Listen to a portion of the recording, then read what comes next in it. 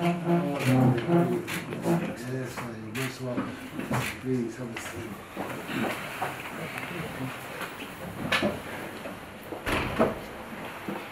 Excellency, I first of all want to um, appreciate God for keeping you alive and keeping you well. Um, Africa has had a lot of politicians, but has had, but has had few leaders. And the problem of Africa has been leadership. And um, it's, it's about a couple of years now that we actually believed God that God will bring people, um, leaders into, into office, people have the mindset of not just um, being shining light in the country where they domicile, but having Africa in the bigger picture. And we want to appreciate God for keeping you and also for the laudable um, step by prioritizing education. Um, like I said to people, there are many things in Africa that would have been in place if there was proper education.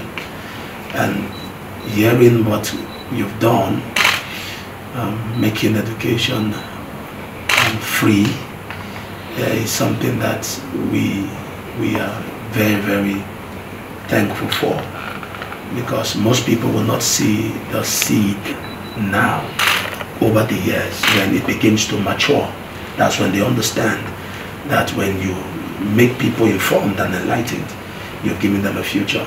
But the problem with Africans is that um, we have more politicians than leaders. Where everybody believes that what they call a successful leadership is when they have something in their pocket immediately. And when they feel that's not done they get uncomfortable. I've been by the grace of God in my young life um, I've been preaching for 33 years now and I've been privileged to meet a few presidents of the world, Africa and um, and I've always said that if we can get our people informed there are things they will do for themselves. But if we keep thinking of what to do for them, what to do for them, what to do for them, it becomes, you know, a, a campaign comes up, somebody says, I'm going to do this for you. A campaign comes up, I'm going to do this for you. But the best one can do is to enlighten them. And you have taken that step, and we appreciate you for that.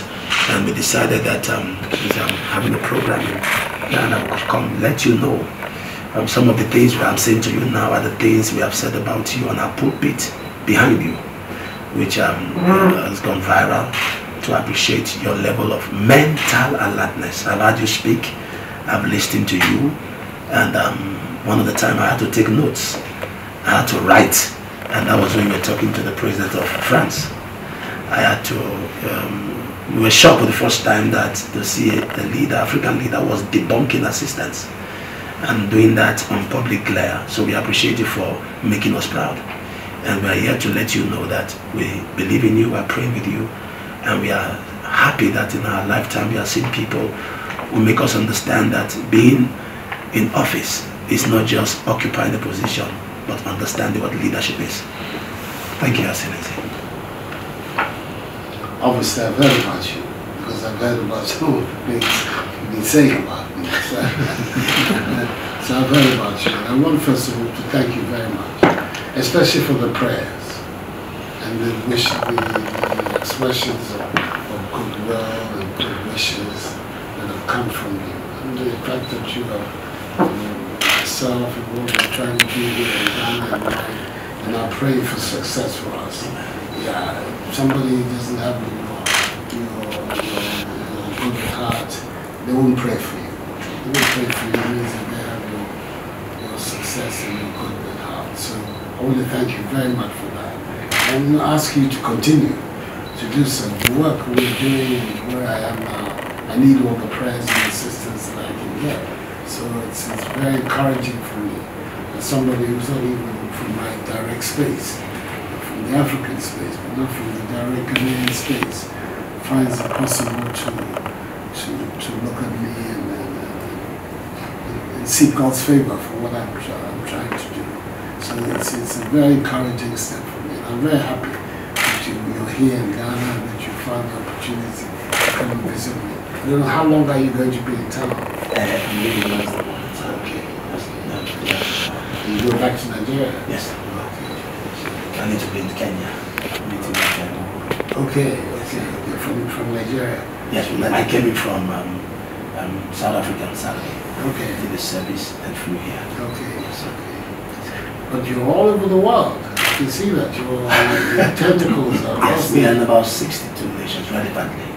My Yes, yes. So I tried, um, okay, for because of Corona, for the past like two years, I didn't do Any movement. here, but I just started a little bit see the walk, never been there.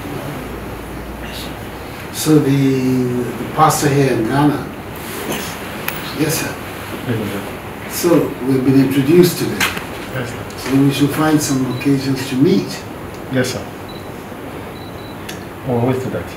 Yes. Okay. But I'm, I'm hoping the rest of you, I hope you're enjoying your visit to Ghana. Yes, sir. Very well. sir. Everything's going fine. That's, that's very good. Excellent. Yeah. Very happy to have you. I appreciate it. You